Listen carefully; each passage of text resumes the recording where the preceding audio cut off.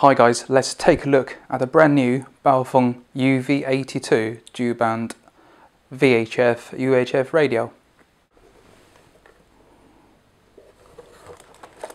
Inside the box you get user's manual and a free headset which has when I first opened the box I thought why do they have two PTT buttons on the handset but um, I'm going to go into details about these later on.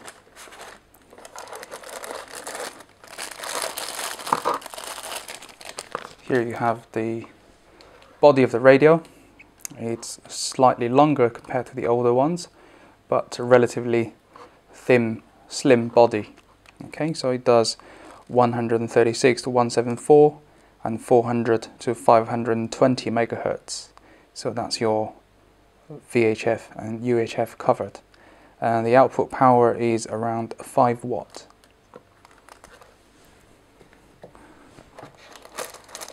Next is the lithium ion battery, that's 1800 milliamp hours with two spring clips and you slide onto the back of the radio.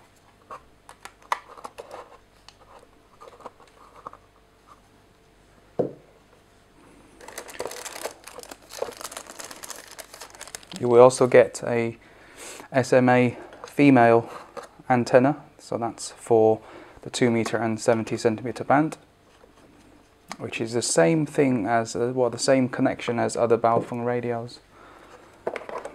There's also a, a belt clip. Now this one comes uh, with a UK charger. Uh, you can also get the European the two pin um, plug with the radio as well.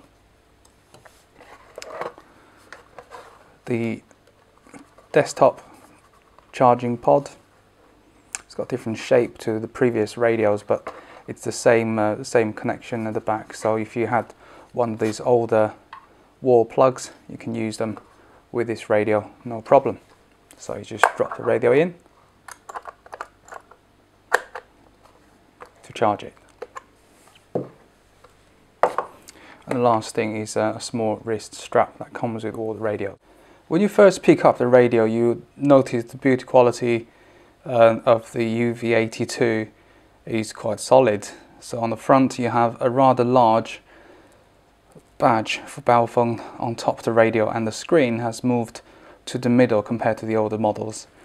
Um, the front keypad is what you call a normal keypad where the zero goes underneath your number 789s and the buttons are rather large and they have quite a positive feel. So for someone with rather big uh, fingers if you like um, you will find this keypad a lot easier to use. On the left hand side of the radio you have the PTT uh, the top of this side however you do get an A and B switch. So that's um, in fact there are two PTT switches one for when you have the stand uh, the um, A band and the other one for the B band.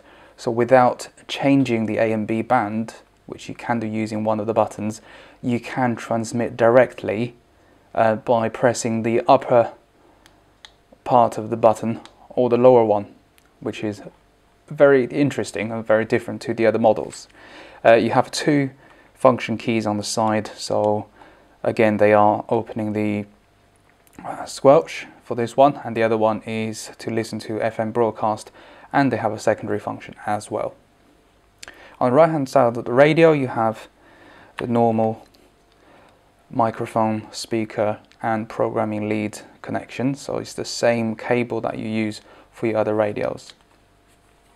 And on the back the radio where your belt clip would normally go onto so there's two screws for that and it's the back the battery I say it's slightly um, curved at the back the, the battery. So it's it's not as thick as as you think on the UV82 so let's have a look at the top of the radio. You get the on and off and volume switch on the side and a rather big LED torch much bigger than the older ones. I think they've done a, a little kind of lens um, improvement on there. And you get two separate lights uh, one for transmit one for receive. So enough said let's switch the radio on. As you can see you have a similar size display screen on the UV82 and you can use that for uh, for example when you program it you can display the channel names or numbers.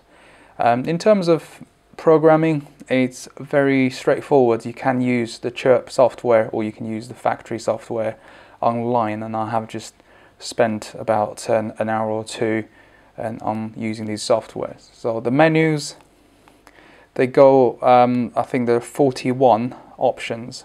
So again the different different functions um, are very similar to the UV5R let me demonstrate the A and B button on the side. So the little arrow now is on the top one on the A band.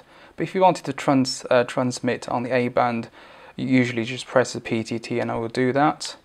Um, but if you have, you know, if you don't know where the little arrow is, but you know you have got a different frequency on the B band, you just press that button and it automatically transmit on the B band. Okay, so side by side I have the UV5RC on the left UV82, the new model in the middle, and UVB5 on the right. As you can see, the B5 has the the dial, the switch on top, the selection switch uh, on top the radio, which is something I really like, and I hope, well, I wish the 82 or the UV5R would have that. And on the other hand, the 82 is the tallest out of the three. And the same as the B5, they have the display screen in the middle of the radio. Now the large keypad, as you can see on the 82, uh, is something I particularly enjoy. In the same order you have the UV5RC on the left and UVB5 on the right. In the middle is the UV82. So it is taller, but it's not thicker in any way uh, than the other two models. So thank you for watching and I hope you enjoy the review. Uh, please subscribe to my channel uh, if you want to receive regular updates and new videos on reviews and unboxing of different handheld radios.